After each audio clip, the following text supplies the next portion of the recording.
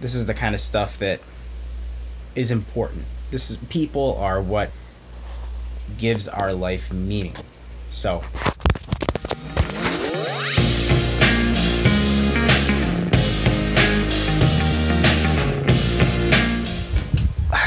So I'm just finishing getting ready for bed and I'm doing laundry and I'm cleaning my sheets. That's why. Uh, but I just spent a whole day with my girlfriend. She was visiting, and what I learned today was appreciate the people that you have in your life while you still have them around. She's a camp counselor right now, and she only gets one day off, you know, every week, um, and she can only visit every few weeks. So, so she's gonna be gone for a lot of the summer, and she came to visit for the day, and that was the first time that I'd seen her in a few weeks, and it just made me really.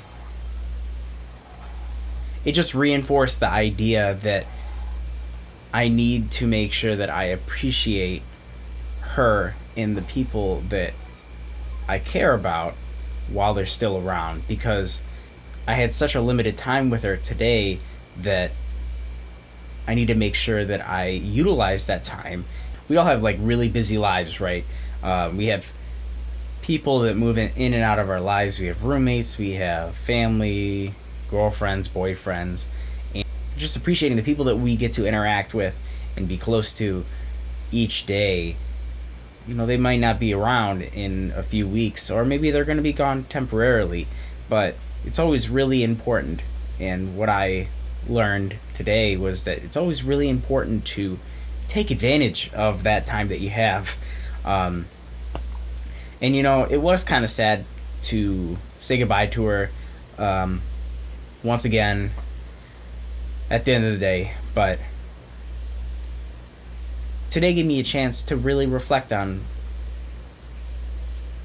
how much I care to have her around. And I don't mean to get too sappy. It's just this is the kind of stuff that is important. This is people are what gives our life meaning. Um, I'm not a very emotional person in general. I have a problem expressing my emotions. Um, I my grandparents are going on a trip, and I stated plainly to my grandpa that I cared a lot about him and my grandma and that's never really happened before and i could tell that he really appreciated it so appreciate who you have while you still have them and bonus points let them know that you really appreciate them. I'll conclude today's video by talking about one thing that made me sad and one thing that made me happy.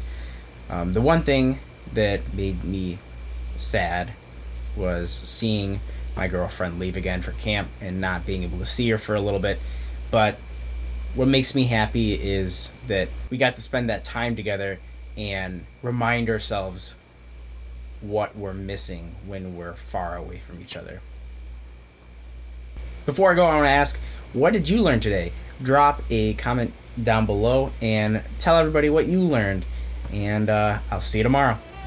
Also, this PokeQuest game has got me hooked for like two months. I cannot stop playing it.